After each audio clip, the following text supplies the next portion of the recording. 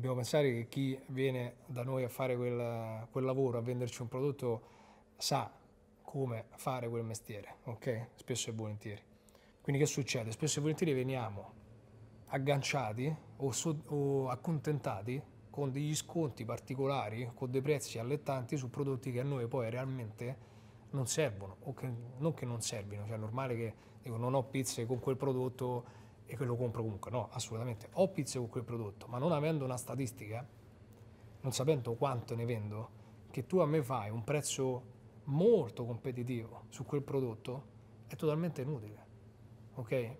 Mentre invece su prodotti che io so da statistica che vendo particolarmente, cioè io faccio eh, 2000 capricciose al mese, cioè su 3500 pizze che faccio faccio 2000 capricciose, ok?